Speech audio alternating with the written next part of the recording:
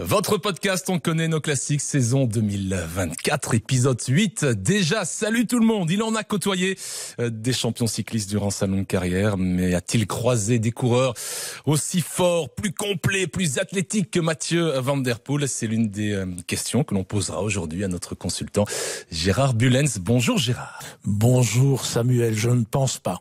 Ah, on a déjà la réponse. C'est pas mal. Et je ne m'attendais pas à une autre euh, réponse de votre part. Comme chaque année, il a pris son pied assis toute l'après-midi sur les vieux bancs du mythique Vélodrome André Pétrieux. Il a pris son pied en redécouvrant, comme au premier jour, la folie présente dans les secteurs pavés. Et il a évidemment pris son pied en commentant l'entrée euh, triomphale de VDP dans le parc des sports de Roubaix. Bonjour, Rodrigo Benkens. Je n'ai que deux pieds, hein, je précise quand même. je suis ravi d'être là avec vous.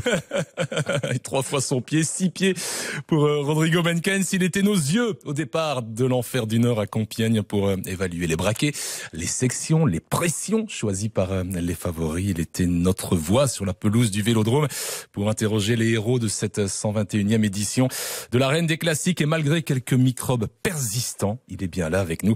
Ce lundi, en studio, bonjour Jérôme Elgers. Bonjour tout le monde. Et je suis triste ce matin. Est-ce que vous vous rendez compte qu'il va falloir attendre plus de dix mois avant de revoir une classique pavée Oh là, vous nous cassez le moral. oui, mais... Non, mais commencer un lundi comme ça.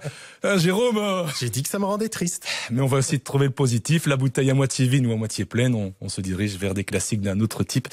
Les Ardennaises, on aura l'occasion d'en parler, d'en reparler avec d'autres types de coureurs. Et c'est ça aussi le principe de ces euh, classiques printanières, les pavés et puis les euh, classiques ardennaises. Bonjour donc pour la deuxième fois Jérôme et j'espère que... Rebonjour. De mieux en mieux et que les microbes vont enfin vous laisser tranquille cette semaine de Flèche Brabant et d'Amstel Gold Race. Le début et le débrief de Paris-Roubaix, il est terminé. Paris-Roubaix, c'est donc maintenant et on ne l'a pas encore fait cette saison, euh, messieurs. Et je fais un petit clin d'œil à David Oudré qui euh, pendant des années a, animé ce podcast On connaît nos classiques. On ne le fera peut-être ou sans doute plus cette saison, mais j'avais envie après cette victoire de, de Mathieu Van Der Poel euh, haut la main, de reprendre ce principe de, euh, de David. En un mot, en un seul mot, que vous inspire euh, cette course? Qu'est-ce que ce Paris-Roubaix, cette victoire de Mathieu Van Der Poel vous ont inspiré? La deuxième victoire de Van Der Poel à Roubaix, c'était, je commence par Jérôme. Allez, moi j'ai choisi le mot domination. Euh, domination de Mathieu Van Der Poel évidemment, mais pas que lui, de son équipe aussi. Et pour appuyer mes propos, euh, je voudrais utiliser cette image de, de, Mathieu qui a eu le temps vraiment de, de, faire son tour sur le vélodrome et même ensuite de, de, poser son vélo, de poser son derrière sur le cadre et de regarder le sprint pour la deuxième Une place. images, même d'encourager Jasper Philipsen et puis de lever les bras parce que euh, Philipsen fait, fait deuxième. Je trouve que cette image, elle est, elle est vraiment parlante. C'est fou parce que j'avais noté dans les images euh, à évoquer aujourd'hui cette image-là. Ben voilà, c'est directement ouais. fait cette image de Van Der Poel qui assiste au sprint. Rodrigo Benkens, la victoire de VDP, c'était, c'est. Mais jusqu'à ce matin, je vous aurais dit inqualifiable parce que je ne parvenais pas à la, à la, qualifier. À la qualifier.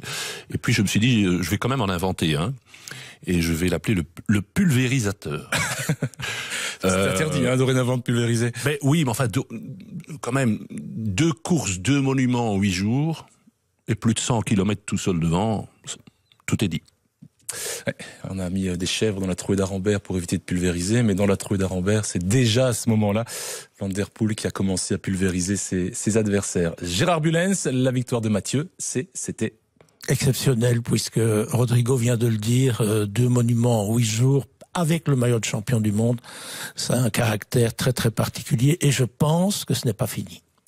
Domination pour Jérôme Elgers, pulvérisateur pour euh, Rodrigo Benkens, exceptionnel pour euh, Gérard Bulens. Et, s'il fallait rajouter un, un, adjectif éloquent concernant cette victoire de, de de mon côté, je dirais euh, historique, puisqu'il a marqué de plusieurs manières l'histoire hier avec le Paris-Roubaix le plus rapide, avec ce doublé Tour des Flandres Paris-Roubaix la même année, avec également la victoire bissée après celle de l'an dernier, et puis cette victoire avec le maillot de champion du monde. Et Gérard, vous qui suivez particulièrement aussi le cyclisme féminin, on assistait à, à deux victoires de champions, championnes du monde ce week-end, Lotte Kopecky samedi, Mathieu Van Der Poel dimanche, et voir des champions du monde, champions, championnes, faire honneur ainsi à leur maillot dans l'arène des classiques, ben, que c'est beau. Hein. C'est magnifique, évidemment, dans deux cadres très très différents, parce que le samedi, emmener une championne du monde sur la piste sur un vélodrome pour faire un sprint, même si euh, à certains moments elle s'est laissée euh, enfermer, mais elle s'en est sortie très très bien avec ses qualités de concurrente sur la piste. C'était un gros risque pour cet adversaire. On a euh, vibré quand Kopecky a gagné le, le Tour des Flandres. Voilà, c'est difficile de, de, comparer les deux cyclismes, et pourtant ce cyclisme féminin, Rodrigo, évolue de façon vertigineuse, et on a avec Lotte Kopecky une ambassadrice exceptionnelle. Hein. Je le redis, euh, le meilleur cycliste belge depuis plus d'un an est une femme. Donc euh, il, faut le dire, au niveau rayonnement, elle est, elle, est championne du monde. Moi, ce que j'ai adoré samedi, c'est la façon dont, elle a géré cela. Euh, certains ont estimé qu'elle était un peu nerveuse. Moi, je l'ai trouvée au contraire vraiment très déterminée. Elle a fait la course parfaite. Et en fait, elle a roulé comme une championne du monde sur route pendant pendant toute la course. Et, et puis les, les 300 derniers mètres, elle a, elle a changé, euh, elle a remplacé son mode championne du monde euh, sur la route par son mode championne du monde sur la piste, tout simplement. Et, et face à quand même deux concurrentes qui ont un passé sur la piste aussi, hein, faut pas l'oublier. Donc euh, moi, j'ai trouvé ça admirable et, on n'a pas fini de s'amuser cette année avec euh, Lotte Kopecky, croyez-moi. Pendant la course d'âme, vous étiez, Jérôme, en train de réaliser les, les, interviews à Compiègne euh, lors de la présentation des, euh, des messieurs. Vous avez quand même suivi à distance. J'imagine que vous avez vu le... Presse, il y avait la course voilà, que vous avez donc vu l'arrivée de, de Lotte Kopecky à 300 mètres, on se demande ce qu'elle fait évidemment. Hein. Oui, oui, et, même avant, on pouvait se poser des questions parce qu'elle elle semblait un petit peu nerveuse dans, dans les secteurs pavés. Elle n'arrivait pas à faire la différence. Moi, je me souviens surtout du dimanche du Tour des Flandres où il y avait énormément de, un mélange de frustration, de, de, déception et même un peu de, de colère sur son visage euh, après le Tour des Flandres. Et quand on voit comment elle exulte sur sur le Vélodrome, on sent qu'il y avait ce, ce besoin d'aller la gagner et de vraiment de relâcher. Je crois qu'elle s'était mis beaucoup de pression. Elle voulait euh, vraiment gagner. Elle l'avait dit en début de saison. Elle voulait vraiment aller chercher ce Paris-Roubaix. Euh, mais c'est vrai que dans dans la maîtrise sur la piste, c'était c'était assez assez impressionnant. Hein. On voulait euh, débuter ce podcast par euh, le petit clin d'œil envers la lauréate féminine, donc Lotte Kopecky, la Belge, euh, qui n'a pas réalisé le doublé Tour des Flandres Paris-Roubaix la même année, mais elle l'a réalisé malgré tout et sa carrière ne fait que commencer. Gérard, vous avez encore un mot concernant Lotte. Vous avez utilisé le terme d'ambassadrice. Oui. C'est remarquable dans son cas. Je me tourne vers les fédérations ici en Belgique, que ce soit la RLVB, que ce soit Cycling Vlaanderen, que ce soit la FCWB ou Wallonie Cycling, comme on dit aujourd'hui, quit du développement du cyclisme féminin en Belgique qui a hormis Lotte Kopecky, quand même un très très grand retard sur les Pays-Bas, sur l'Italie, sur la France, et j'en passe. L'arbre qui cache la forêt. Exactement ça pourrait faire l'objet effectivement d'un l'arbre qui fera pousser la forêt. À venir, oh, bouteille à moitié vide, à moitié pleine. Ah, ah, on a commencé de façon un peu tristounette avec Jérôme, et là il nous rend le sourire effectivement. En puissance. Alors on revient sur la course messieurs, ce solo de 60 km, j'arrondis. On se souvient de celui de d'André Schmil en 1994, parti dans le même euh, secteur à Orchy, ce chemin des prières lors de l'accélération de Mathieu Van Der Poel ce sont ses adversaires qui ont qui ont pu faire euh, leur prière. Et, et à l'arrivée euh, trois minutes tout rond d'avance sur euh, le deuxième son équipier Jasper Philipson qui a donc dominé Pedersen au sprint pour cette deuxième place. Le même premier le même deuxième que l'an dernier.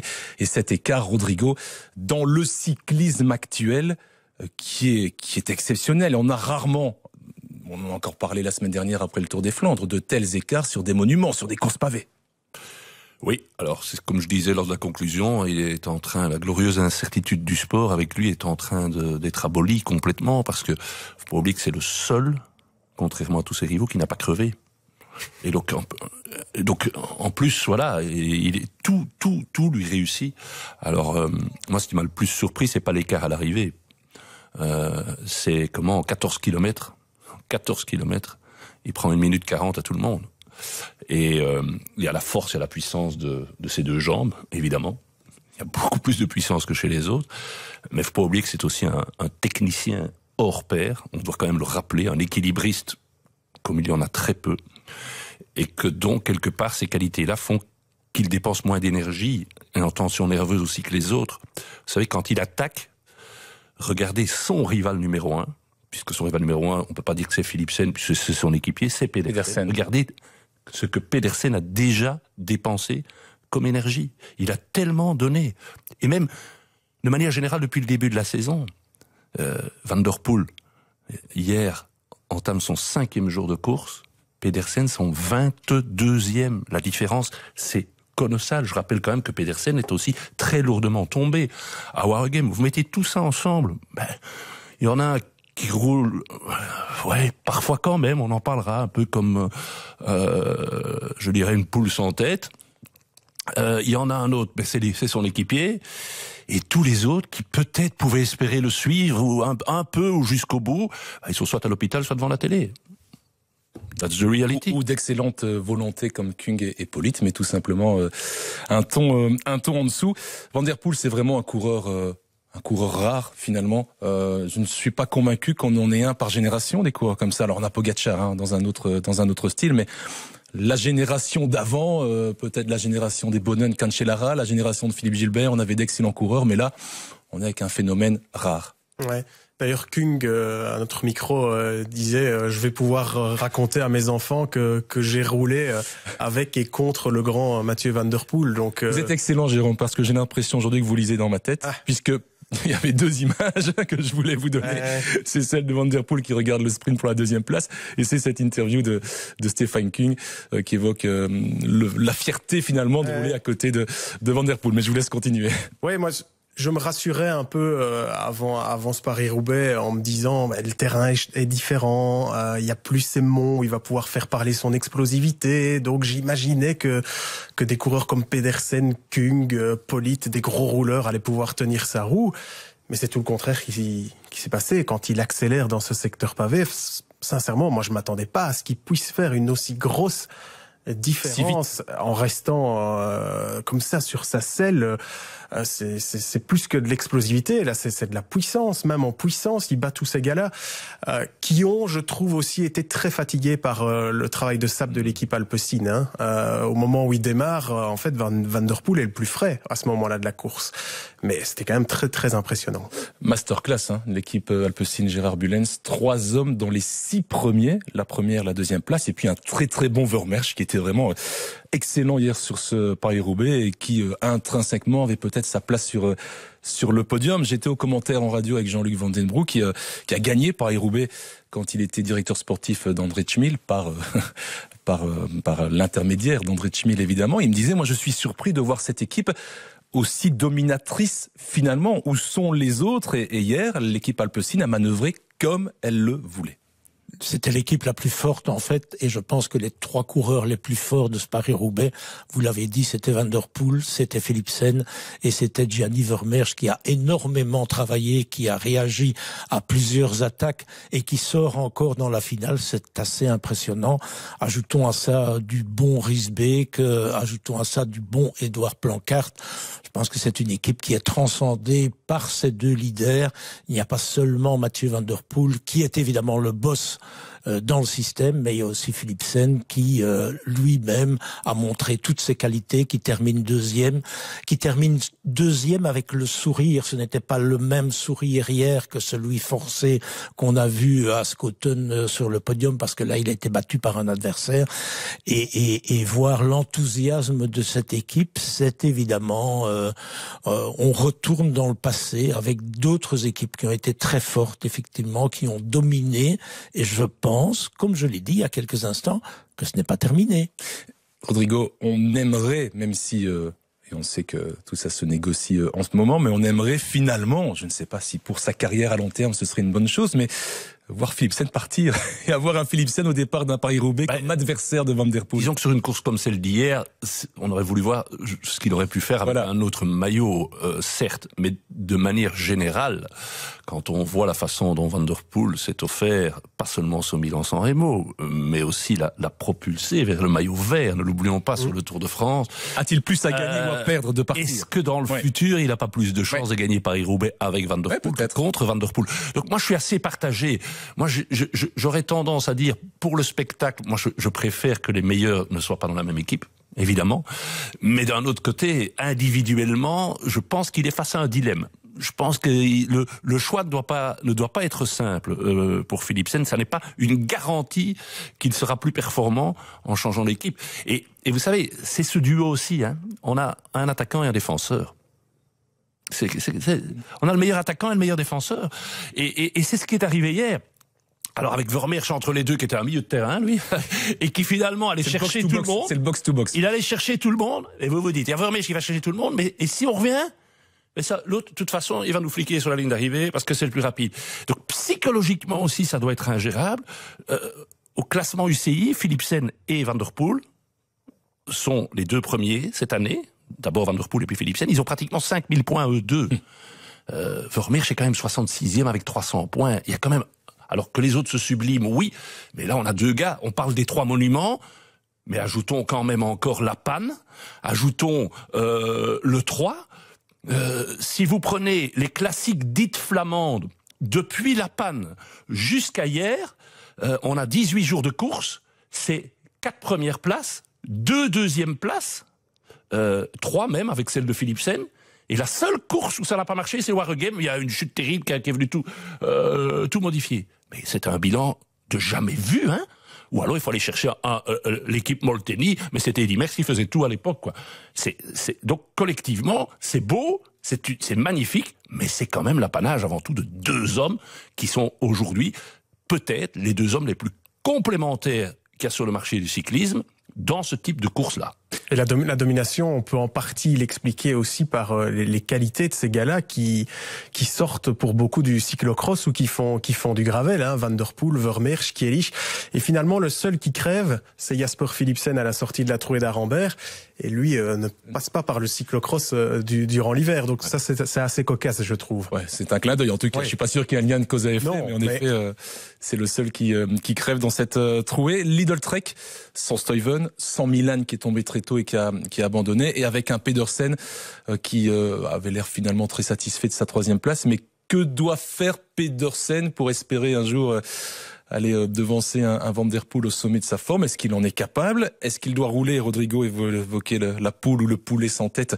Doit-il vraiment changer sa manière de, de rouler? On a eu écho qu'après son solo autour des Flandres, finalement, on lui aurait demandé de se relever, mais qu'il a refusé de se relever. Donc c'est un un têtu, euh, ce Mats Pedersen. Euh, il est peut-être passé et autour des Flandres à Paris-Roubaix à côté de, son premier monument.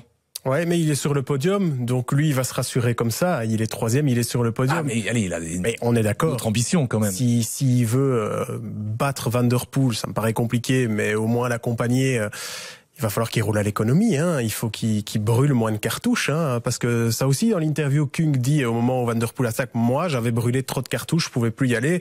Je pense que Pedersen c'était ça aussi, hein, à un moment donné. Il a plus de mal à le reconnaître. Oui, oui, oui, oui, oui. Sur sa manière de. Mais, mais voilà, son travail permet aussi à d'autres parfois de, de, revenir, mais à un moment donné, il doit aussi laisser les autres travailler. Hein. C'est pas toujours lui qui doit se mettre en tête de peloton et prendre le vent. À mon avis, il avait beaucoup de moustiques entre les dents euh, après la course. Encore une sur les trois hein. courses que, que Alpecin n'a pas gagné finalement, il y a Jorgensen qui gagne à Wargame. On, on sait dans quelles euh, circonstances. Il y a Merlier qui gagne mercredi dernier au sprint. Au sprint. Bravo. Et il y a Pedersen qui gagne Grand Game. C'est la plus belle des trois. Hein et Pedersen est sur le podium hier. Donc attention, euh, je ne réduis pas les, les qualités moi aussi, de qu'on me comprenne pas mal, euh, je vais pas critiquer un gars qui est enthousiaste, qui prend des initiatives, qui qui qui ne reste pas dans les roues. C'est un beau cycliste. Donc moi, et je suis convaincu que Stuyven et dans une moindre mesure Kirsch, qui était en grande forme, aurait pu peut-être un peu changé. C'était pas la même équipe. Parce que hein. ce qu'on a vu à Gand Game, c'est la seule fois où Mathieu Van Der Poel a été pris tactiquement et jamais à cause des chutes, cette équipe Lidl Trek a pu le refaire. Pedersen, mais ça fait beaucoup de si. mais, mais, avec Stuyven et, en se calmant un peu, aurait probablement euh, pu faire encore un plus beau printemps. Et n'oublions pas qu'il est aussi tombé. Hein. Gérard Bulens, Van Der Poel était euh, aussi chien fou que Pedersen. On a connu un Van Der Poel dans, dans ses premières années qui euh, calculait très peu aussi ses dépenses d'énergie. Il a compris euh, quand il attaque, il attaque une fois, c'est la bonne. Alors évidemment, il a des qualités au-dessus de la moyenne, mais il euh, court de manière un peu plus réfléchie qu'avant. Ce message est passé chez Van Der Poel. Il pourrait passer de la part des DS et de la direction de l'équipe Lidl Trek pour Pedersen. Mais au départ, quand il est passé dans la catégorie des professionnels, il courait purement et simplement à l'instinct. On parle de Van Der Poel. Oui, de Van Der Poel, évidemment. Euh, il a appris pas mal de choses. Aujourd'hui, il planifie ses courses, il sait où il va se tester. Et parfois, quand il se teste comme hier, euh, il le trou est fait, il a des sensations extraordinaires et il va jusqu'au bout. Mais il court de manière très très intelligente. Et pour corroborer ce qu'on a dit, sa principale qualité pardon, dans Paris-Roubaix, c'est effectivement son pilotage qui est extraordinaire. Il n'y en a aucun qui pilote comme lui, même Pitcock que l'on a vu dans des descentes, etc., d'une façon extraordinaire. À Paris-Roubaix, il est en dessous. Et on n'a aucun qui a la musculature non plus de, non plus. Van Der Poel. Qu'est-ce que c'est impressionnant, hein, les trapèzes, le cou. Il n'y a aucun coureur, mais aucun, aucun, même un, gars comme Van Aert, un gars comme Milan, un gars comme Pedersen, les gros gabarits, des Kung, aucun n'a le trapèze dessiné dans le dos et ses épaules, ce cou, c'est impressionnant. Ça vient d'un travail. Évidemment. Ça, n'arrive pas comme ça. Donc euh, voilà, c'est un seul muscle. Van Der Poel, c'est un seul muscle. Effectivement. Et maintenant, il s'est encore attribué un grand plus, c'est évidemment le fait d'aller euh, vivre en Espagne où il se retire de toute pression, euh, où il peut aller s'entraîner même avec le maillot de champion du monde sans être gêné, c'est quelque chose de très très important et qui le met, d'après Adri, dans une situation de relax assez impressionnant. Mais moi, ce qui m'a le plus surpris, et, vous on, était à côté l'un de l'autre, et, on sait, vous savez bien, Samuel, que c'est une ligne d'arrivée comme aucune autre. Hein. Et donc le fait d'être sur ce vélodrome, non seulement on les voit passer deux fois devant nous, mais en plus ils restent, ils sont au milieu. Euh, on, a les gros plans à la télé, mais, mais on peut, c'est une des rares courses où on peut juger nous-mêmes, autrement, où on a un avantage peut-être sur le téléspectateur, euh, parce que quand on est sur une ligne d'arrivée du Tour des Flandres, mais ils sont plus là, ils sont partis. Oh, le podium, il a 2 km. On, euh, on, les voit plus. Et moi, ce qui m'a vraiment sidéré, c'est qu'il y avait une différence entre les visages de tous les coureurs. Alors évidemment marqués par euh, la poussière, la boue, mais mais vraiment marqués. Moi j'ai l'impression sur ces visages qu'ils étaient ridés, qu'ils avaient pris quelques années. Dix ans, ouais. Ouais, ouais, sur la course, sauf deux. Le premier le deuxième. Et la compagne de Mathieu Van vient de publier une photo sur les réseaux sociaux des mains de Mathieu qui sont immaculés, comme s'ils n'avaient pas fait euh, rien, rien du tout, même pas un accro, pas C'est ce que nous expliquait Bonon dans l'interview qu'on a diffusée euh, il y a quelques jours. Euh, moi, j'ai jamais eu d'ampoule, je roule sans gants, j'ai jamais eu d'ampoule parce que je ne sers pas le guidon, parce que je suis très souple, facile à dire, hein, très souple sur le vélo, je n'ai pas peur de changer de direction. Et quand vous regardez les images de Bonon à l'époque, celles de Van Der Poel aujourd'hui, toutes celles et ceux qui ont essayé un jour de rouler sur les pavés savent que, que c'est difficile. C'est vraiment ça, Gérard, c'est cette, cette conduite du vélo. Comme disait Bonon, et, Van Der Poel sans doute dirait la même chose, il faut laisser le vélo vous guider. C'est le vélo qui décide un peu où on va et nous on suit tout en souplesse quelque part, oui, mais il faut quand même le contrôler. Ah oui. là il faut surtout pas être crispé. Voilà, c'est ça. Pas serré Donc pas sa guidoline. Et, et c'est ce qui fait que certains qui ne sont pas à l'aise sur les pavés terminent avec des ampoules. Et donc Roxane est rassuré parce qu'il peut faire la vaisselle dès, le lendemain. Si Roxane est rassuré, nous sommes tous rassurés alors.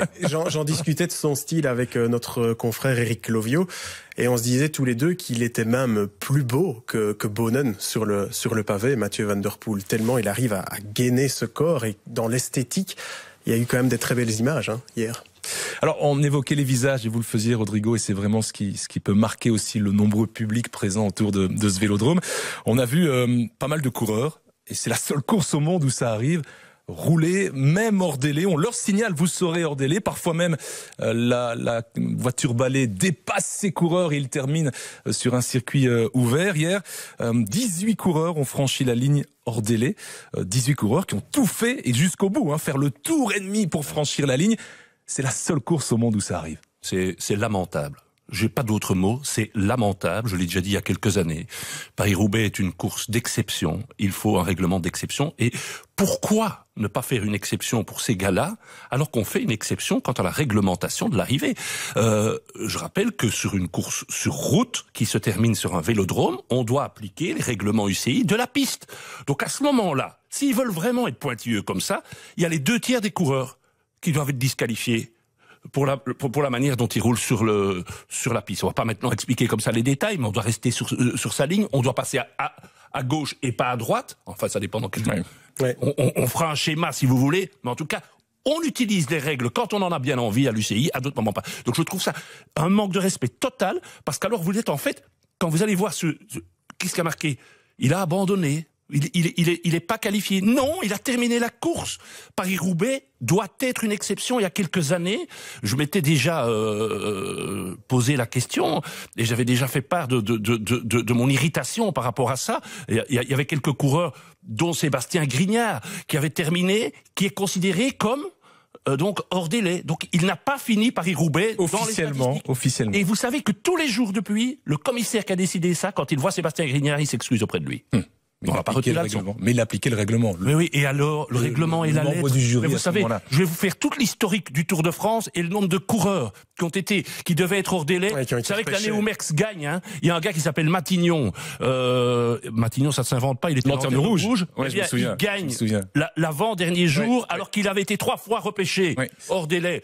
Alors moi je veux bien, on, trou on trouve des exceptions aux règles quand on en a envie. Pour Paris-Roubaix, je trouve chapeau, ces gars qui finissent tout seuls, sans assistance, ils doivent être tous classés, même s'ils arrivent le lendemain. Enfin non, parce que là il y a quand même une, question de sécurité.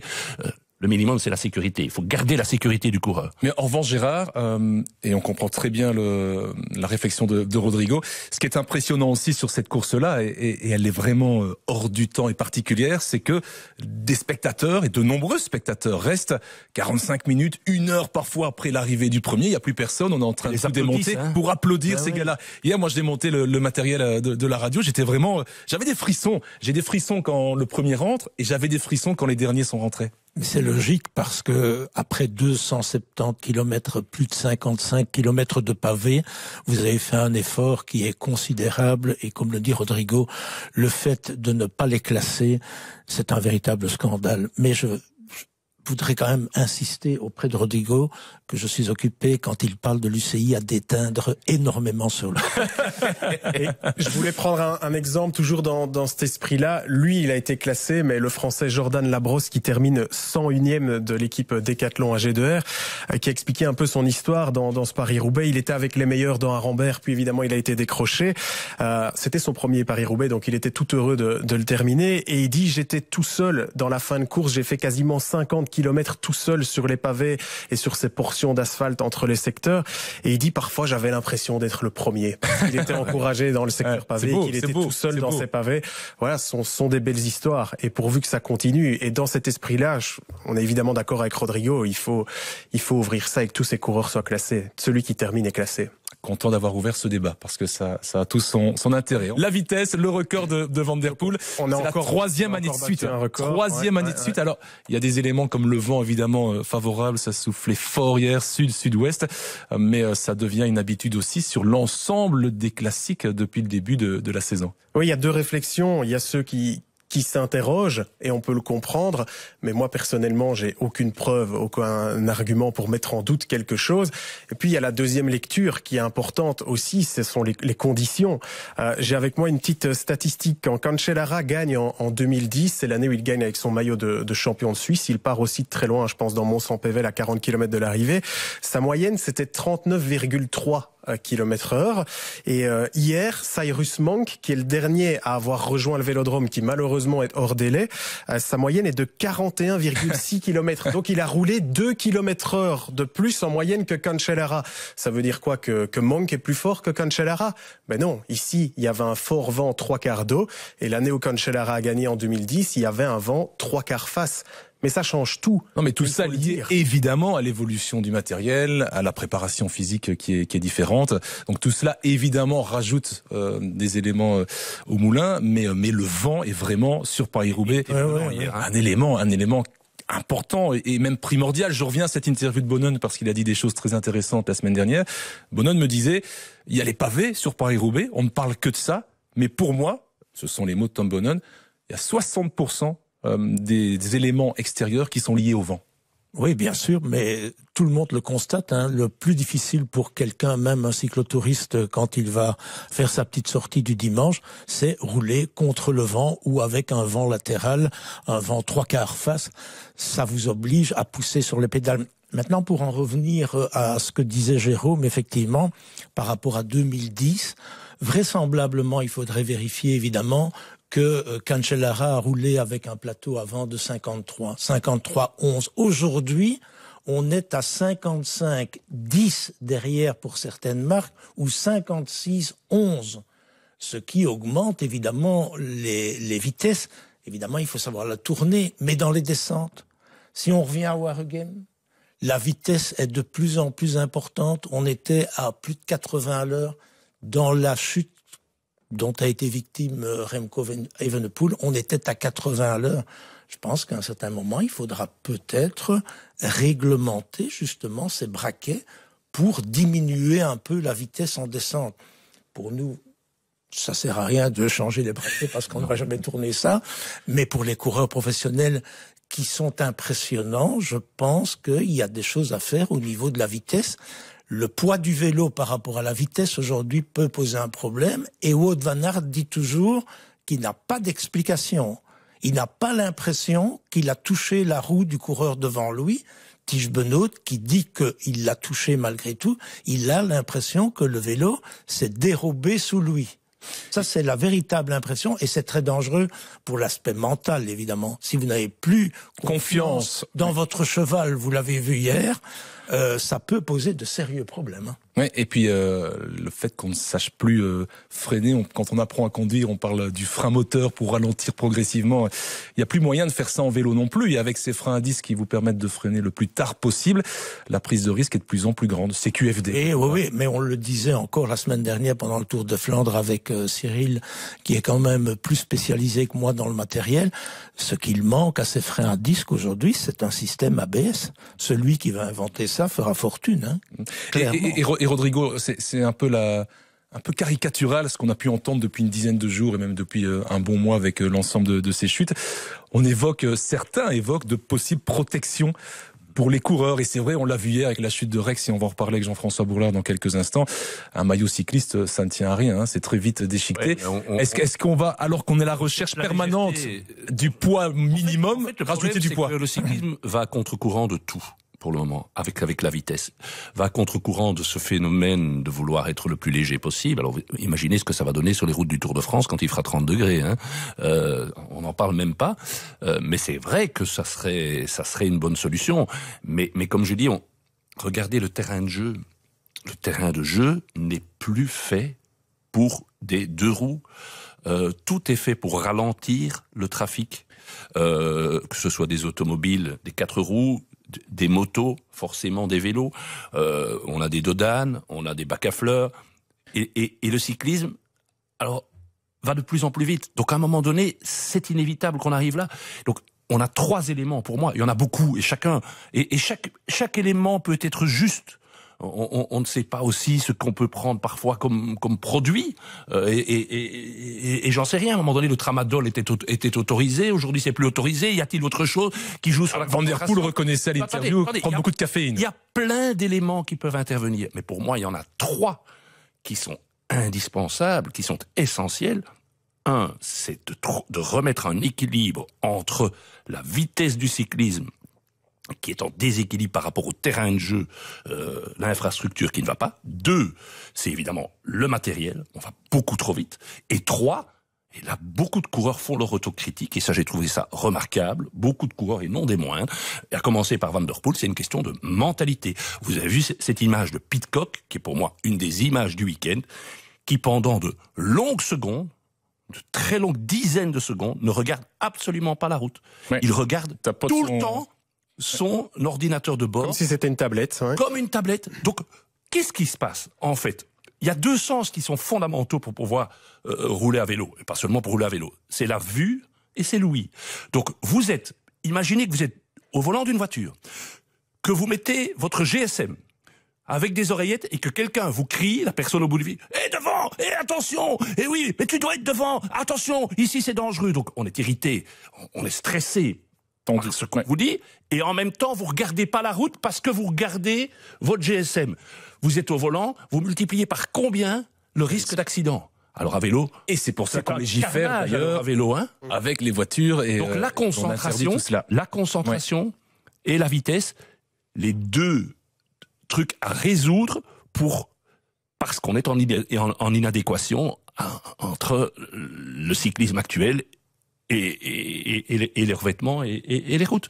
Mentalité matérielle avant d'essayer de leur mettre des airbags dans le dos, etc., il faut d'abord les ralentir. Voilà. C'est la première chose. Et, on pourrait peut-être éviter donc alors la pose d'airbag ou de protection si on arrive à retrouver un équilibre. Vous aurez toujours des chutes. Hein. Moi, j'ai encore commenté, ah non, non, non, non, non, commenté des sprints sans casque. Hein. Mais mais mais euh, la chute de Rexière et on me dit que Jean-François Bourlard est là, donc on va le retrouver. La chute de Rexière, quand il prend cet îlot directionnel, chute. il y a la deuxième chute, il y a euh, 10, 15, 20 ans, cet îlot n'était sans doute pas là. Et il est distrait, mais, il, est peut-être dans les vapes aussi de sa première chute, hein, probablement. Et on va accueillir notre invité hebdomadaire. Il était au Vélodrome hier, il est avec nous ce matin, c'est le patron de l'équipe Intermarché Wanty, Jean-François Bourlard. Bonjour Jean-François. Bonjour à tous. Vous allez bien? Très bien, très bien, très bien. Alors, ce Paris-Roubaix, euh, c'est toujours une course euh, exceptionnelle et vous êtes vous aussi un, frontalier. Vous avez grandi avec Paris-Roubaix. On reparle de la course d'Intermarché Monti dans quelques instants. Mais d'abord, euh, comment ça s'est passé pour vous avec, j'imagine, des, des, invités, avec une après-course aussi assez festive. Paris-Roubaix, c'est tout ça c'est tout ça. C'est une course qui nous réussit bien euh, d'habitude. Euh, c'est vrai qu'on a, il y a deux ans, on a placé cinq hommes dans les 23 premiers, ce qui était assez exceptionnel, avec une quatrième place, une sixième place. On était vraiment euh, la meilleure équipe à la sortie d'Arambert.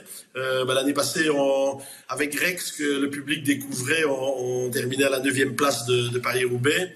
Et cette année, on y allait avec, avec pas mal d'ambition, avec une équipe solide, avec... Bah, des rescapés aussi parce que euh, on a eu euh, notre lot de, de malchance, de chutes, euh, de blessures plus ou moins graves, mais avec une équipe autour de Rex. de Madis Mikkels, de Mike Tennyson qui était qui était solide.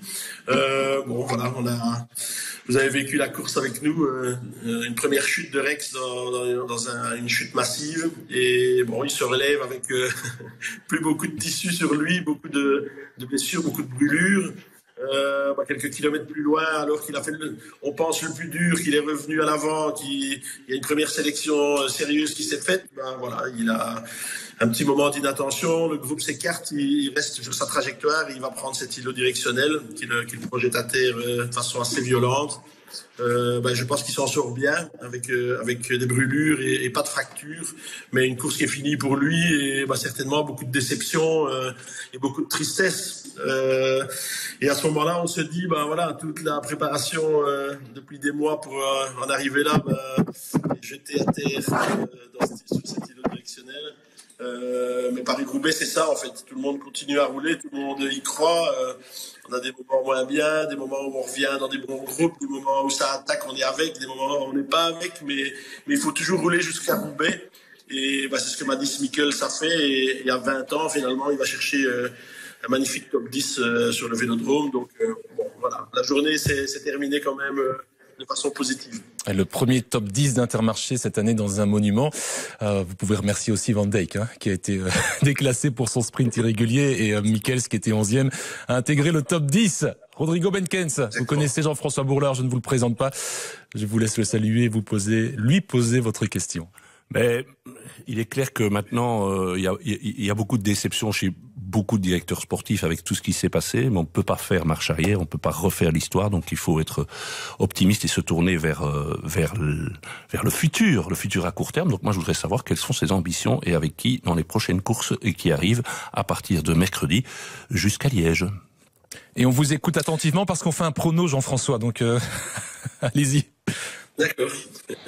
ben, Déjà, je, je, reviens un peu sur sur euh, sur ce qu'on a fait sur les, les, pavés, qui finalement qui n'est pas euh, une si mauvaise euh, saison de classique pavé que ça, parce que bah, on remporte quand même le Samin, qui est pas vraiment une semi-classique, mais qui est voilà, qui est toujours pour nous un, un, moment important. On fait sixième du Newsblatt, on fait septième du Grand Game, on fait dixième de Roubaix. Euh, voilà, on a, on a eu pas mal de malchance et donc c'est vrai qu'on on espérait un peu mieux, mais on est, c'est pas encore la, la catastrophe euh, à ce niveau-là. Et par rapport au futur et aux, et aux ambitions qu'on a, ben, les trois, euh, quatre prochaines courses qui arrivent, euh, la Flèche Brabançon, l'Amstel, la Flèche et la Flèche Wallonne et, Liège, ben on change carrément d'équipe. On a, on a les équipes qui ont préparé euh, ces, ces, événements euh, plutôt en stage ou plutôt sur les courses comme comme les Pays Basques ou la Catalogne. Et là, on viendra avec des garçons comme comme Bussato, comme Rota, nos deux coureurs italiens, mais aussi avec avec Georg Zimmermann, qui lui a, a, testé pour la première fois bah, les, les, pavés et les classiques, euh, les classiques euh, flamandes.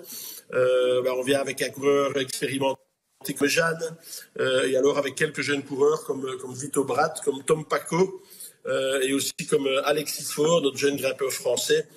Et donc, oui, sur la flèche Brabançon, on, on, va vraiment, on va vraiment miser la course sur Bussato et Rota. pareil sur l'Amstel et sur la flèche et Liège. Ben, Zimmerman, euh, qui est un coureur un peu plus expérimenté, qui a gagné, déjà gagné sur des courses comme euh, le Dauphiné, euh, presque gagné sur le Tour l'année passée, qui aime ce genre de course. Bah, voilà, avec Rota, ce seront nos deux coureurs protégés pour, pour la Flèche et Liège. Donc Bussato, Rota pour mercredi. Mais on peut plus changer nos pronos, c'est fini. Jérôme Elgersat. Moi, je voulais revenir justement sur euh, Madis euh, Mikkels. Euh, on m'a on m'a dit que c'était un coureur euh, très généreux, un, un, gros rouleur, qu'il a même mis un peu ses coéquipiers en danger sur la reconnaissance tellement il voulait y aller, alors que ses coéquipiers lui ont dit eh, calme, on est en reconnaissance, là, on n'est pas en course. donc voilà, je voulais avoir un peu l'avis de, Jean-François sur sur ce coureur estonien qui n'a que 20 ans, qui est aussi très rapide au sprint. où est-ce qu'il peut aller au niveau de, de son, de son potentiel? Jusqu'où il peut en effet, c'est un, jeune coureur de 20 ans qui, bah, qui est ambitieux, qui, aime bien faire les choses, euh, qui est parfois trop généreux, aussi bien à l'entraînement. C'est vrai que qu'en course, euh, bah, il prend encore un peu trop de vent euh, à des mauvais moments. Mais c'est quelqu'un qui a énormément de talent, qui a énormément de potentiel. Euh, il a une résistance assez impressionnante pour son âge. Il va vite dans dans les petits groupes, dans les sprints. Et donc, euh, on ne sait pas bien où il peut aller, mais en tout cas, hier, c'était bah, sa chance finalement, parce qu'il aurait dû euh, travailler pour euh, Lorenz Rex, et, finalement, mais avec les circonstances de course, il s'est retrouvé un peu un peu leader de l'équipe et, il a saisi sa chance. Il vient avec euh, un bon groupe sur le Vélodrome et, et, il va chercher une belle dixième place. Donc, oui, je pense que c'est un coureur d'avenir et que et que bah, on le verra encore dans, des classiques comme comme Paris Roubaix et le Tour des Flandres, ça c'est sûr. Michaels dixième hier, Mike Tonicienne 22e, Hugo Page que l'on a vu aussi à son avantage hier sur ce Paris Roubaix 34e, Gérard Bulens. Je vous laisse avec Jean-François Bourlard. C'est gentil. c'est vrai qu'on se connaît relativement bien, donc euh, on se tutoie depuis longtemps. je vous autorise à le tutoyer. Moi, mon idée, c'était déjà, Jean-François, de regarder vers le futur et, et, et de se dire que euh, quand je regarde l'équipe Lotto Destiny, il y a quand même euh, dans la, leur formation pas mal de passages qui sont très très intéressants. Je sais qu'avec Kevin Van Melsen, tu as mis au point une équipe développement qui est très très intéressante. Est-ce est-ce qu'on peut imaginer une même progression, une même politique pour l'équipe Intermarché ou anti-Gobert?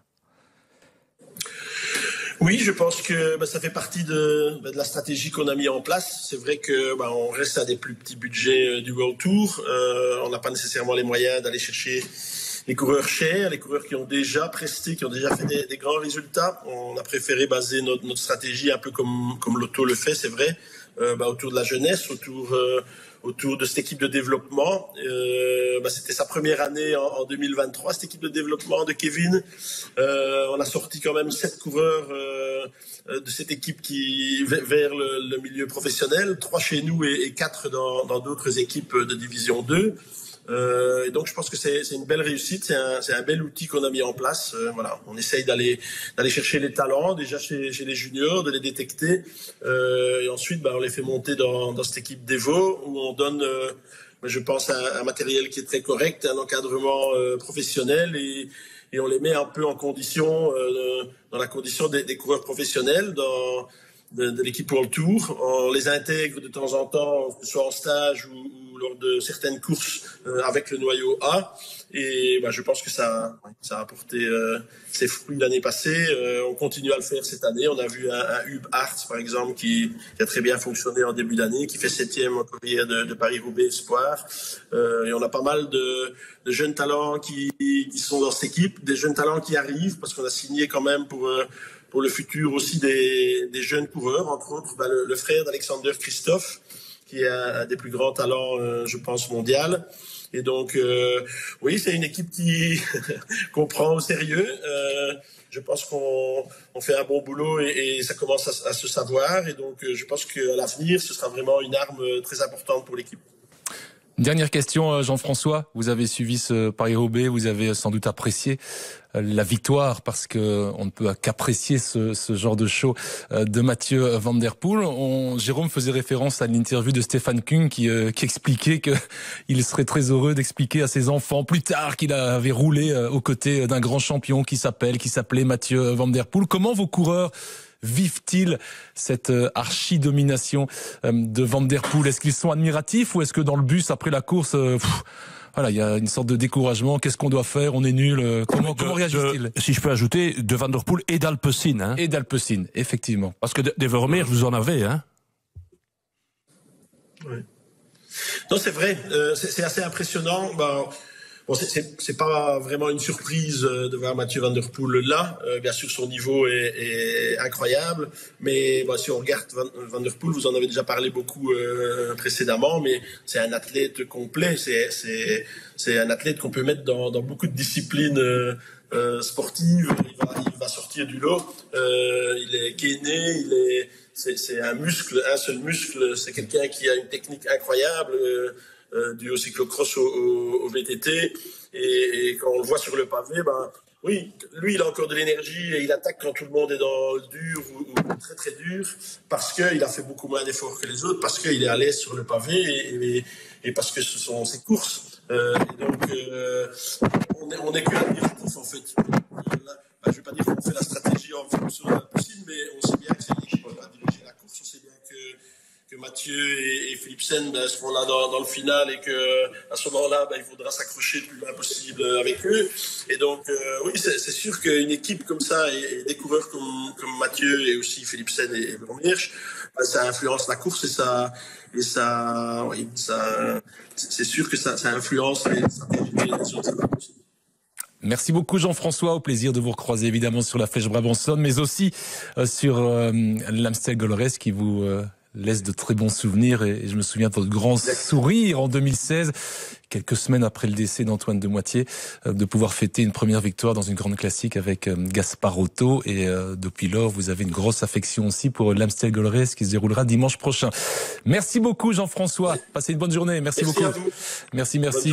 Le patron sportif de l'équipe Intermarché Wanty. Alors, notre prono hebdomadaire et puis pour terminer, un mot sur euh, le Pays Basque, sur la chute et sur les perspectives pour Remco Evenepoel et Jonas Vingegaard. Notre prono était lié la semaine dernière au Grand Prix de l'Escaut. On rappelle euh, le top 3 du Grand Prix de l'Escaut. Merlier devant Philipsen et Dylan Groenewegen. Euh, pour celles et ceux qui nous suivent en, en images sur YouTube, sur notre site internet, eh bien, on a aujourd'hui un peu évolué avec des tableaux qui vont apparaître et le résumé du classement. On prend les choses au, au sérieux. Et le premier tableau, c'est celui qui concerne Jérôme Elgers, le leader actuel du classement, qui avait pronostiqué Philipsen, Merlier, Consoni, un point via Philipsen qui a terminé deuxième et donc une bonne place dans le top 3 mais pas euh, sur le bon euh, siège. Merlier deuxième, Consoni troisième et donc un point également pour Merlier qui termine deuxième, deux points pour Jérôme Elgers, le leader qui va donc conserver a priori, on va découvrir le général dans quelques instants, sa première place. Rodrigo Benkens avait pronostiqué Philipson, Tyson, Birmans, un point via Philipson. Ça tient à rien, hein. on peut passer de 6 à un point, on connaît le règlement. Rodrigo, je ne vous ai pas encore entendu râler aujourd'hui, c'est bizarre. Un point pour Rodrigo. Ah, je trouve absolument scandaleux. ah, voilà, que, ah, on le retrouve. Que Jérôme n'est que, n'est que deux points. Il a, il a les deux premiers, mais dans le désordre, et le troisième n'a pas pris le départ. Eh, ah, bah, j'espère, j'espère le même courroux quand je parlerai de mon classement, puisque j'avais aussi le premier et le deuxième. On y arrive. J'ai moins de respect pour ceux qui dictent les règles. Voilà, voilà, voilà, voilà. Alors, Gérard Mullens, Philipsen, Mozzato, Wellsford, un point pour Philipsen. Le tableau de Gérard est donc euh, le même que celui de, de Rodrigo en termes de points. Et puis, euh, en ce qui me concerne, Philipsen, Merlier, Van Uden. Et donc, un point pour euh, Philipsen, un point pour Merlier. Hein. C'est vraiment la course où on aura marqué le, moins de points. Le classement général est donc le suivant désormais. Jérôme, 25 points plus 2, 27 points. Rodrigo reste deuxième avec désormais 19 points. Gérard, troisième, 15 points. Je me rapproche à une petite unité. Hein. Gérard, vous sentez le souffle là dans le dos. 14 points pour, euh, pour Samuel. Alors, on est prêt pour le prono de la semaine, qui concerne donc la course du mercredi. Ce sera le cas encore la semaine prochaine avec la Flèche Wallonne. La Flèche Brabançonne ce mercredi. On, a évidemment euh, imaginé ce prono sur base des listes de partants, de la liste de partants provisoires que l'on a en notre possession. Et le premier à voter, c'est toujours le leader. Et donc, on écoute le prono de Jérôme Elgers. Ouais, à cette heure-ci, il n'y a aucune équipe qui a rendu son, son équipe finale. Hein, si, euh, je viens d'en avoir une. Ah, Est-ce que vous la voulez? Laquelle C'est l'équipe hein, du, du, dernier ah. vainqueur, hein, Décathlon. Qui aligne outre Godon, Paul Lapera. Ah, ça, ça change. Et, et, et Cosnefroy, un spécialiste. Hein. Ouais. Bon, voilà, je vous donne, c'est la seule info que je peux vous donner au moment où on enregistre. Et Bussato et Rota seront là pour intervenir Wanty. J'avais prévu Laurence Hirschi Matthews, mais sachant que l'Apéra vient, euh, je vais jouer Laurence toujours en 1. Euh, L'Apéra en 2. Je les vois arriver à 2. Et puis derrière Matthews qui règle, qui règle un deuxième groupe. Donc Laurence, Lapera, Matthews. Je vous donnerai mon classement après, mais j'ai vraiment peur, Jérôme, parce que vous lisez dans ma tête depuis ce matin, ça m'inquiète. Ça m'inquiète. Je sais tout de vous. Laurence, Lapera, Matthews, le prono de Jérôme Elgers. En banque. je ne retiens personnellement pas mon numéro de compte, donc. Mais, Jérôme, oui. Rodrigo, je vous écoute. Bon, ben, c'est un Alpecin qui doit gagner, hein. Ça, c'est comme si on veut gagner, si on veut prendre des points. Donc, j'avais aussi pensé à Laurence mais qui peut-être manque un peu d'expérience dans ce genre de course. Moi, sur ce que j'ai vu au Pays Basque, j'avais envie de mettre Quinton Hermans. Mais il est tombé et il n'a pas pris le départ. Donc moi j'en ai assez de, mettre des points sur des gars dont je sais pas s'ils vont être au départ, euh, de perdre euh, des, Van Baal ou quoi. Non. Donc je vais jouer Crack Anderson, hmm? vainqueur. Euh, le deuxième sera un habitué, Matthews. Et le troisième sera celui qui pour moi était après Van Der Poel peut-être le plus fort autour des flancs. C'est Dylan Tuns en trois. Intéressant. Crack Andersen, Matthews, Tuns, Gérard Mullens. Question compliquée. Seront-ils au départ? Alors, je mets un Matthews. Deux, je pose la question à Rodrigo Illy est-il prévu Il n'est pas prévu. Non, il n'est pas prévu. Donc deux, on avance. Votre avocat est là, vous inquiétez avec pas. Euh, Boussato. ah, mais voilà. ouais. Et trois, effectivement, Laurence. Eh bien, nous avons quand même de fameux points communs dans la plupart des pronos. Matthews, Boussato, Laurence, et je vous donne mon euh, prono. Et franchement, on n'est pas loin d'avoir le même. Euh, euh Jérôme, Axel Laurence en 1, euh, c'était noté. En 2, Benoît Cosnefroy et en 3, Michael Matthews. Donc on a quand même tous mis Matthews, dans notre top ouais, 3. Hein ouais, voilà, sans se concerter. S'il n'est pas déclassé, quoi. S'il n'est pas déclassé. Et on a déjà vu des déclassements sur euh, la flèche Brabanson, euh, de mémoire en Willens, hein, qui avait été déclassé dans un sprint avec euh, On sait tous que euh, Matthews passe bien les bosses et sprint bien, donc... Euh... Sur un parcours comme celui-là, avec une concurrence un petit peu moindre que sur un monument. Il a évidemment toutes ses chances et on l'imagine revanchard. On peut pas donner le, on peut pas donner le, le, pronostic pour l'Amstel Gold Race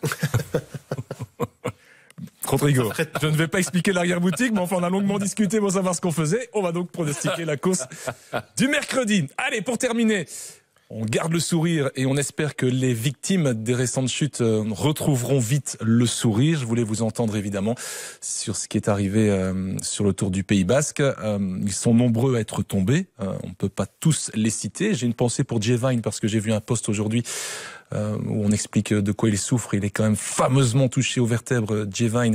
Il va éviter l'opération de peu, mais il est parti pour des semaines, des mois de revalidation. Et, et on n'est pas encore convaincu qu'il remontera sur, sur un C'est moins grave, mais sérieux quand même pour Remco Evenepoel, la clavicule, l'omoplate, et pour Jonas Vingegaard qui lui en plus a des côtes cassées et touché au poumon. D'abord Remco Evenepoel, c'est un coup d'arrêt Gérard Bulens dans, sa préparation pour ce premier Tour de France, et en même temps euh, la clavicule, l'omoplate, c'est toujours un petit peu plus délicat, mais ce sont euh, deux fractures qui, a priori, ne devraient pas l'empêcher d'être là autour et ne devraient à peine l'handicaper dans sa préparation. Oui et non, parce que on sait bien sûr qu'un athlète de haut niveau récupère très très vite. L'opération à la clavicule, euh, bon, elle a été euh, faite, réussie, on en a parlé. On a beaucoup moins d'informations sur l'omoplate, ça dépend du type de fracture. C'est un os beaucoup plus épais qui peut prendre plus de temps pour euh, la récupération, mais en général, on se base sur le fait qu'il était en grande forme et qu'on récupère très vite dans ce cas-là. Donc, je pense que pour lui, pour le Tour, il y aura pas trop de problèmes. Et dans cette préparation direction Tour de France, je pense qu'on va devoir un peu revoir les choses, mais qu'il y aura peut-être encore une petite épreuve avant qui pourrait être, par exemple, le Tour de Suisse. Rodrigo?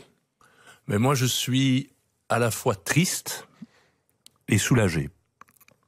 Euh, je suis triste parce que tous ces coureurs qui ont fait tellement de sacrifices pour être là, on, se focalise en Belgique, on a deux champions extraordinaires, Wout van Aert, Remco Evenepoel. Tous les deux sont à l'arrêt. Il y a deux peuvent gagner tous les monuments et qui n'en auront pas disputé un seul.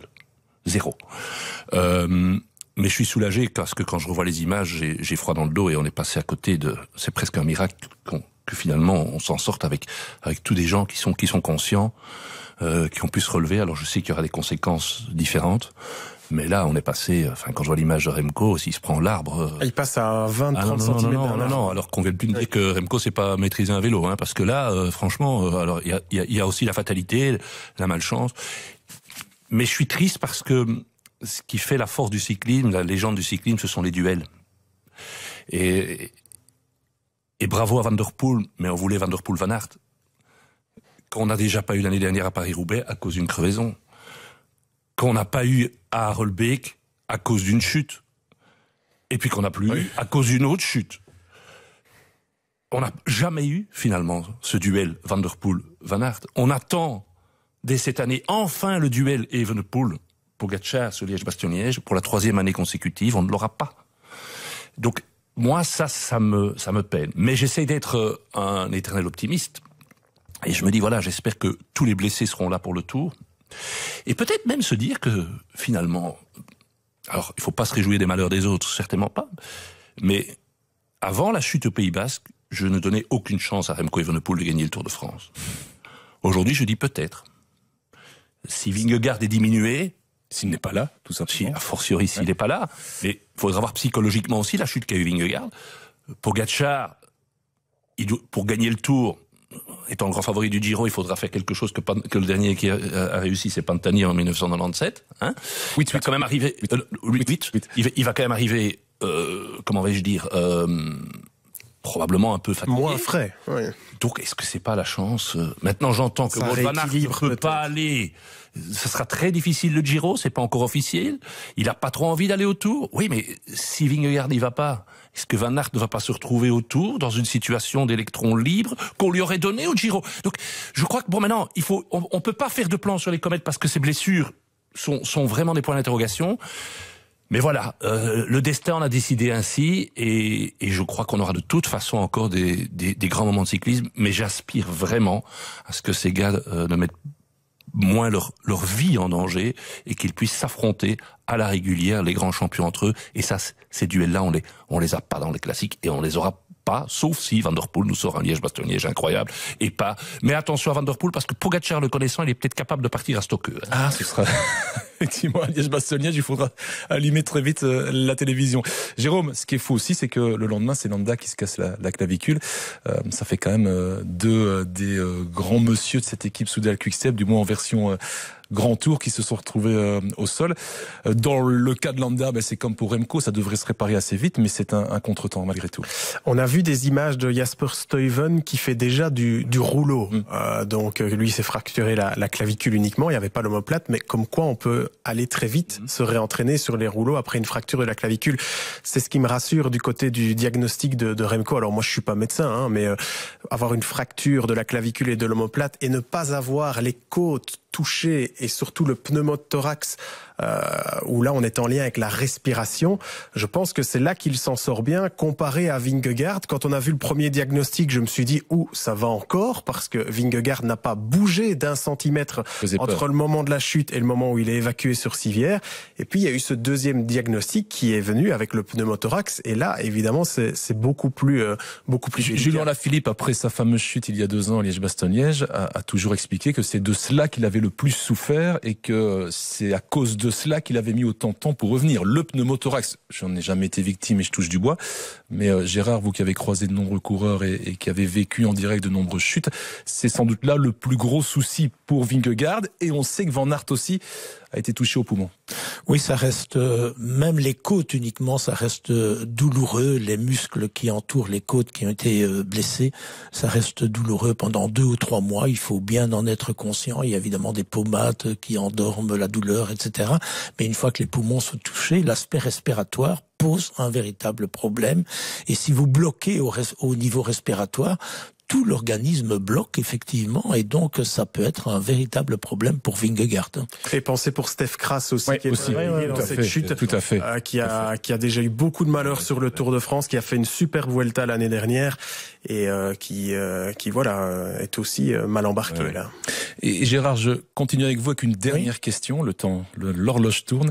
on a tous vu et revu cette chute. J'ai cette impression que euh, le coureur Trek, Lidl Trek, ne qui est derrière Remco ne touche pas Remco. J'ai cette impression que Remco tombe un peu tout seul, euh, qu'il est distrait peut-être par euh, le bruit derrière lui, par des cris. Euh, votre votre impression? Même impression que vous. Je pense que il a il a été déstabilisé dans la réalité par ce qui s'est passé derrière. Et la meilleure preuve, c'est que Landa qui était devant lui, qui l'emmenait dans la descente, n'a pas chuté du tout. Je pense que il, il, a certainement été gêné par la chute derrière, les bruits, peut-être un petit regard sur mmh. le côté, le fait de quitter sa trajectoire. Mais pour le reste, une fois qu'il est parti de sa ligne, je trouve qu'il a relativement bien réagi. Maîtriser son vélo. Euh, maîtriser son vélo, ouais. effectivement, comme l'a dit Rodrigo. Et puis quand vous entrez comme ça dans une zone euh, sous bois. Et inconnue, euh, c'est pas où il va. Hein. totalement inconnu. Il peut y avoir des pierres, il peut y avoir des branches. Il faut pas grand chose pour euh, déstabiliser ces boyaux qui sont sans doute de 25 mm dans une course comme celle-là. Donc, euh, en, en, résumant le tout pour Remco, je pense que dans son malheur, il a quand même eu un peu de chance. Il s'en sort bien Remco Evenepoel et on lui envoie évidemment tous nos encouragements en perspective euh, de, du prochain Tour de France, évidemment. Merci Jérôme Elgers pour euh, ce débrief. Avec plaisir. Et on se retrouve évidemment dans une semaine au lendemain de l'Amstel Gold Race. Merci Gérard Bulens. À mercredi. À mercredi sur la flèche Brabanson. Vous y serez avec qui? avec euh, mon, père de toujours. Votre avocat. Merci beaucoup, Rodrigo Menkens. Ah, c'est la course euh, que qu'il connaît. Je oui, crois même chez vous. Je crois même qu'il est allé reconnaître samedi. Hein. Vous êtes un peu les deux régionaux de l'étape oui, à la flèche Brabanson. terrain d'entraînement. Ouais, mais, terrain d'entraînement. J'aime bien quand Rodrigo parle de son terrain d'entraînement. Oui, ouais, je sais. Et, mais, mais franchement, la Moskestraat, pour moi, c'est quand même très dur. Ouais. Vous avez pas fait le terrain plus simple hein, pour s'entraîner. Non, non, non, non, non, non mais non, non, le, le, la dernière sortie sur la Moskestraat, c'était euh, je pense que ce sera demain. en repérage de la course. Bien vu. Oui. Allez sentir le, je le dis pavé. Pas quelle heure. On sera pas là. Demandez à Jérôme puisqu'il lit dans. Allez, merci à tous les trois. Merci à, à, toutes et à tous pour votre euh, fidélité. Podcast à retrouver sur toutes les plateformes de téléchargement. Vidéocast à retrouver sur Ovio, sur YouTube. Et puis, euh, durant la semaine, des euh, articles résumant nos différentes pensées sur notre site internet www.rtbf.be slash sport. À très vite et dès mercredi d'ailleurs, pour la Flèche Brabançonne.